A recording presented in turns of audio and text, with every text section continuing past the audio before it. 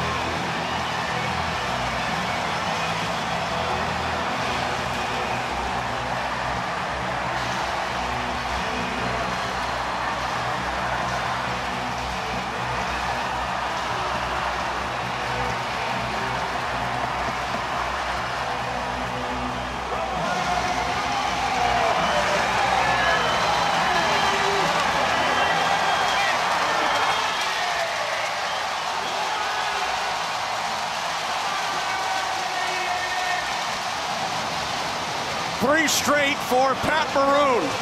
Unbelievable.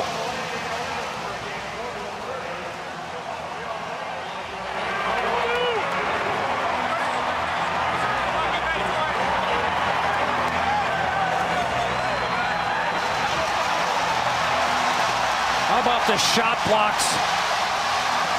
The last half of the third period for the Tampa Bay Lightning. Barclay Goodrow had at least four. Gord had a last one. And no better feeling as a hockey player to be in the middle of that pile. And the reaction from Carey Price.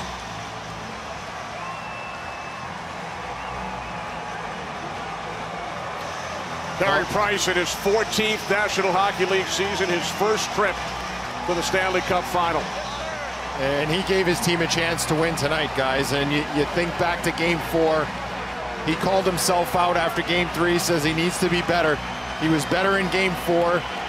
He was good enough to win here in game five. But like so many other teams have seen against the Tampa Bay Lightning, it's not as easy to score as you think. The Lightning once again are able to win a 1-0 game in a clinching scenario. How about Andrei Vasilevskiy, Boost ties an NHL record, his fifth straight shutout in a series clinching game, including two straight Stanley Cup final series. Incredible. And he has to be the Conn Smythe winner for me. Uh, considering what he was able to do in clinching scenarios, often overlooked because there's so much star power on this Lightning team. He deserves the respect and the recognition. And, and to me, he is the Conn Smythe winner. We'll see if that plays out that way. This team is not the same if they don't have Andrei Vasilevskiy in goal. We just saw Alex Killorn shake hands with Shea Weber, the captain of the Montreal Canadiens, unable to play the last couple of games because of a shot block. Back in game two.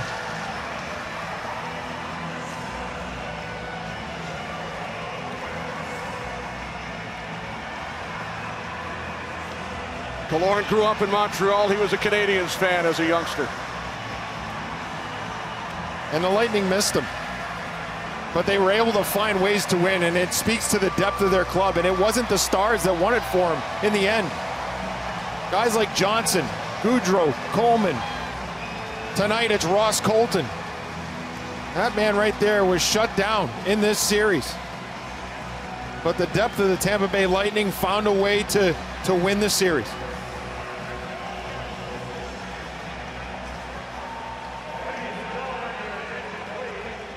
Well, two great goaltenders right there showing their respects for one another. And you often wonder as you get older in your career, will you ever get there again? That's the part that is the most difficult to deal with for guys like Carey Price, for Shea Weber.